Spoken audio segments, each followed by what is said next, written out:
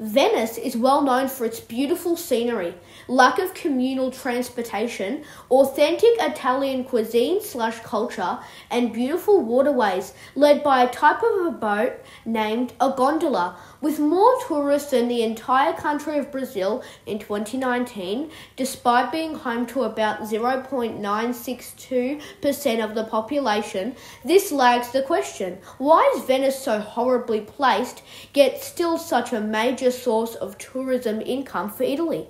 Lack of communal transportation. Let's define this.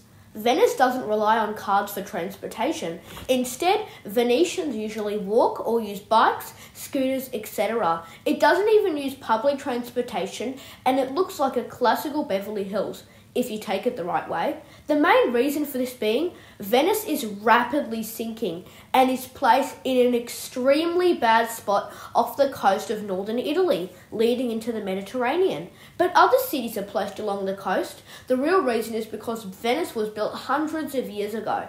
And nobody knew how this problem would grow if the city was placed over an extremely muddy lagoon. Let's take a look into the history of Venice.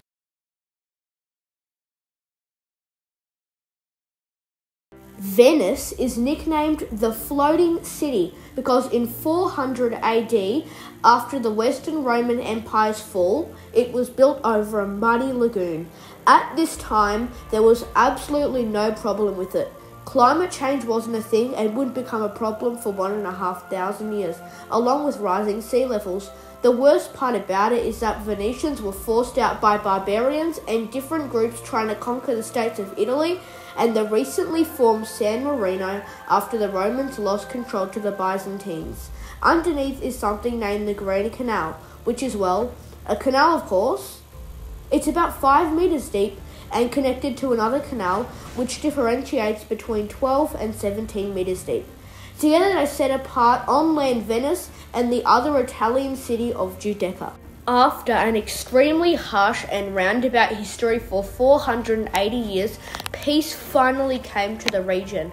Venice lasted as its very own city state for over 1,000 years before finally succumbing to Austria Hungary, who later on gave it to France, which helped out greatly during World War II, as now the Allies had a route to get into Axis power Italy. Now we'd reached the 20th century. Venice is no longer of any use as a city state, nor of any use to France, now collapsed Austria Hungary, or Italy, and floods are ramping up as the ages of war diminish and Earth is now at war with water. Venice starts to get flooded more times yearly than you or me can count on our fingers, and tourism is starting to rack up. People come to watch the mesmerizing waterways, which represent how the city is sinking, and the beautiful 800 year old buildings that show the city's past of reckoning. Now, let me bring up one important factoid that happened in some parts of history to prevent flooding, as this still was a problem in ways caused by things other than climate change and sea levels rising. Venice would actually add to the buildings new floors, but the culture was too precious by 400 years from now, so they ended up stopping. Of course, this wasn't a regulated government policy where they would walk around with some bricks and spackle and go, Yes, it's time to build a new floor to replace the old one.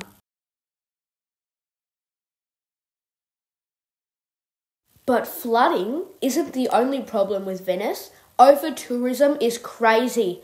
The year before COVID 19 hit hard, 2019, at all times, 24 7, 365, was there one tourist for every three actual Venetians who lived there, and a total of approximately 5,500,000 total year round tourists, all packed into a place with most land covered in water, and including the water was about 400 kilometres.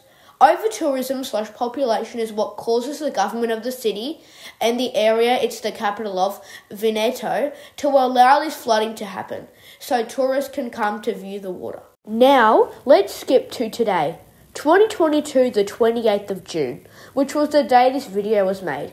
In 2019, there were over 80 floods that year, which is about a flood every four days. The 100 Islands are starting to become more visible, and some sources are adamant about the fall of Venice in about 12 to 30 years. Venice has a rapid increase in tourists for those who want a vacation after lockdowns and COVID and need to see the city before its fall, but Venetians, those who live there, immediately try to sell their properties and move to a better nearby city, like 34 kilometre away Padua or 103 kilometre away Verona.